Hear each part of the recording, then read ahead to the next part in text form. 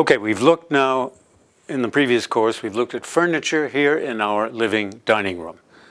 Let's now look at some of the electronic appliances that we have, which many modern homes uh, also have.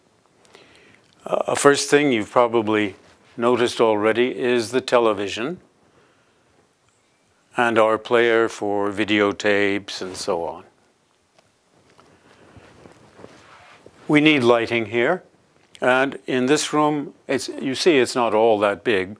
We have three kinds of lighting. One is a rather standard table lamp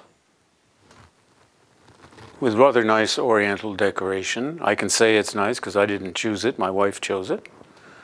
Then we have an upright lamp here.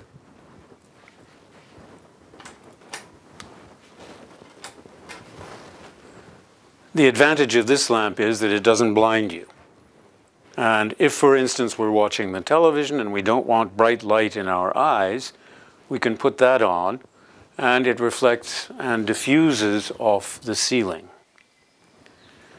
Then here we've got three overhanging little lamps which go together with uh, this uh, place where we keep a lot of our books.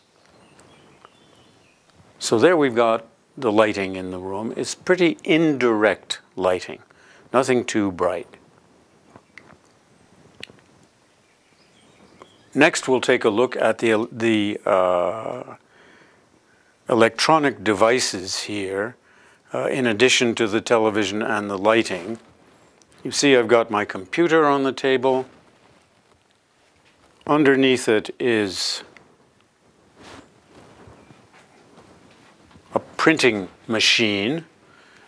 And I try to economize on paper, so I don't print very much.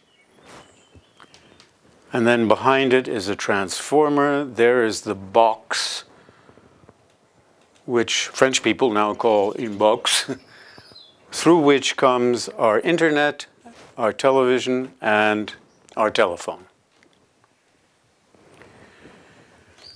We try not to use too much electricity, uh, but in winter in particular, when you need more lighting and heating, there's a radiator over here, but we don't need to look at that. Uh, but that does mean that we've got quite a few wires running around all over the place.